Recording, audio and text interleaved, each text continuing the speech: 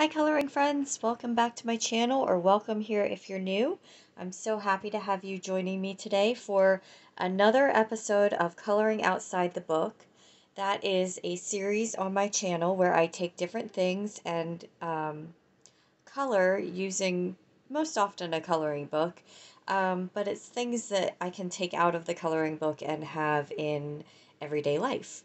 So this month, the project that I'm working on is I have this little wooden birdhouse, and we were in a craft store, and my daughter saw this and said that this reminded her of Coraline and that she would like to make, or she thought that this would make a great uh, Coraline themed house. So I thought, okay, I'm going to use that. Um, Coraline gives me Halloween vibes. To me, it's got a a darker tone to it for sure. um, and so we came up with a color scheme we thought would be nice to use. And the game plan is I'm going to paint the house. Um, and then for the roof of the house, I'm going to do some coloring and then sort of decoupage it onto the top. So um, I really liked. I had I went through my coloring books, and I know she has um, stars are kind of a focus at one point of the movie, and so I thought this um, little cutout here would be perfect to use for the roof, and I like that it has uh, the black background already in it, Um, because black is one of the colors I'm going to be using on the house. Um, and one of the buttons at least is going to be black as well because um, because that is what the parents' eyes are is the button eyes. Um, so I'm thinking I'm going to print this out, make a copy of this page, and then I'm going to cut out a portion of the roof for either side. And then I will color it um, using the color scheme that we have come up with for the house and then we will um, put it all together. So let me go ahead and put this stuff aside and we will, I think, get into probably painting the house first. I think that's probably going to be my best move is to paint and then um, do the color and decoupage last. So let's get going. All right, I think I've gathered all the supplies that I'm going to be needing to work on my Coraline themed birdhouse here. I have printed out the image on some regular copy paper. I think that's going to be best to use. I'll cut it out to fit the roof and then um, sort of Mod Podge it onto the roof there. Um, I'm going to color the base of the house with paint it with the jet black paint I have here and then I may try to incorporate some of this sparkly gold paint over top of the black in different areas just to give it a little interest. Um, so it's not just a solid black painted house. Now the pencils I chose to use for my picture are the Prismacolor here. And I settled on this mix of blues, which were inspired by Coraline's hair in the movie and then this mix of yellows and a little bit of a greenish tone. Um, the lettering, and then if you look at a lot of the yellows in the movie, are have that greenish glowing uh, quality to them. So I went with that. Um, the buttons on the front of the house, I am definitely going to use a pink, vermilion, and chartreuse um, because that is the option of eye colors that the mom gives Coraline in the movie. So I wanted to incorporate those, and um, obviously, if I painted them black as well as the house, then um, they would get lost. So that's the plan for the buttons. Um, I'm going to go ahead and get into actually putting the base coat of the black on the house. Um, I will be putting all of that to music and sped up. Um, otherwise, it would be a very, very long video. So I'm going to go ahead and get the house painted and then I will start with um, move into the coloring of the picture and then I'll come back at the end when we're putting it all together. Um, so let's get going.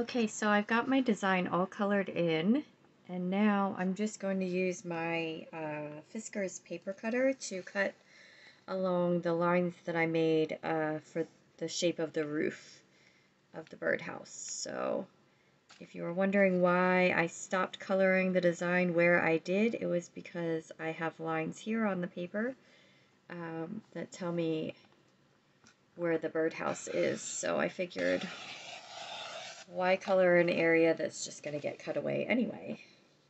Okay, I just held the paper up to the birdhouse to see kind of where my next cut needs to be. So I think we're going to do right here. There we go. All right, and I've got it here, and I think we are about good I did just realize though there's a little bit of area here that did not get colored and I forgot these dots here so let me get those real quick.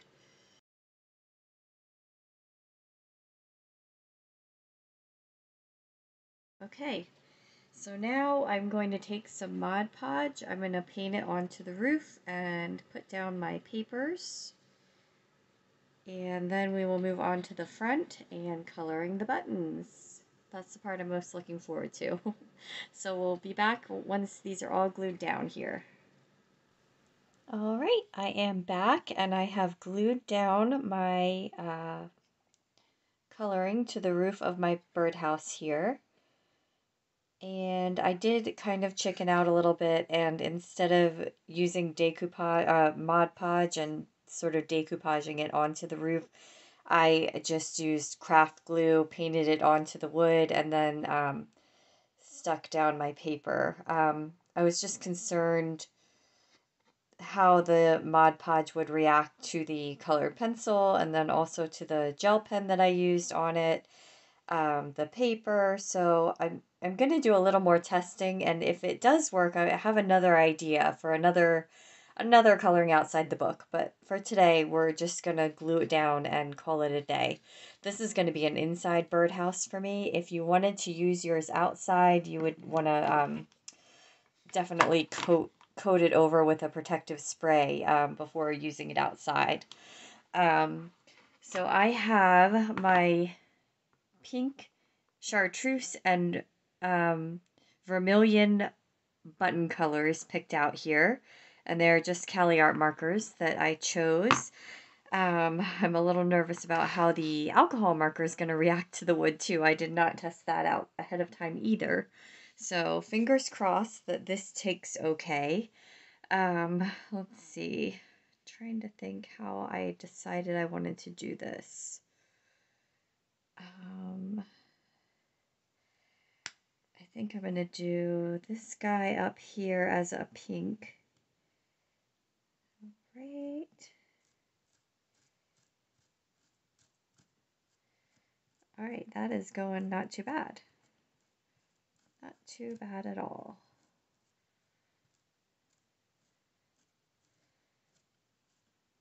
Okay, and then I think I'm going to do this one here as a pink also. This one, the button actually, the edge kind of broke away a little bit, so I'm just going to have to get in there a little carefully. Oh, that part's getting ready to go too. We'll make him hang on at least for the video here. Okay, so there's my pinks. And then we're going to go in with the vermilions. And I'm going to do these two here in vermilion.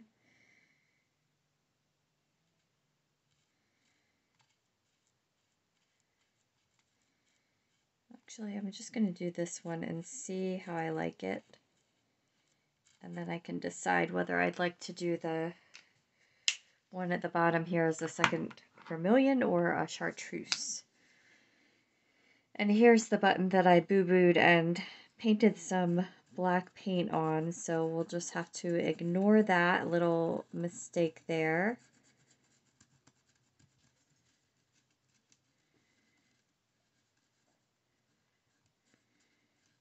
All right, so I actually think I'm going to do another chartreuse button down here.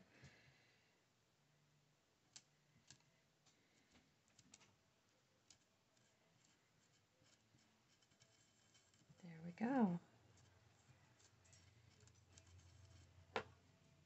All right, and that is our birdhouse. I'm going to come out a little bit so I can get a little better, uh, uh, show, show the angles of it a little better. I'm not sure what this light area is here. I might need to hit that spot with a little more black paint too, but we'll go ahead and come out here. All right, and here we have my completed Coraline inspired birdhouse. Now, I'm not sure if you would get Coraline just looking at it from from how I did it. Um, maybe the buttons would do it. Um, but I just, you know, took inspiration from the movie. And um, this is one of those projects, again, where you can um, adjust it to suit what you want to do. So, um, you know, a different themed birdhouse. Doesn't have to have any theme at all. You could just color a picture you like, um, cut out some areas that would work well on whatever roof shape you're working on, um, and glue them on. And, you know, paint your birdhouse, of course, first. Um, I've seen in the craft stores little wooden haunted houses right now, so you could do something like that. Um, and maybe there's some flat areas on the sides of the house where you could uh, glue some pictures that you've colored. Um, it's just a way to make take a craft and um, add a little more instead of just painting it, which of course is just fine in itself. Um, but you know, use your coloring and get it out of the book and um, on display somewhere or make it part of a nice gift for someone. Um, the possibilities are endless. So um, I hope you enjoyed seeing this uh, little birdhouse come together. And I thank you so much for joining me for another Coloring Outside the Book, and I will see you in the next one. Bye!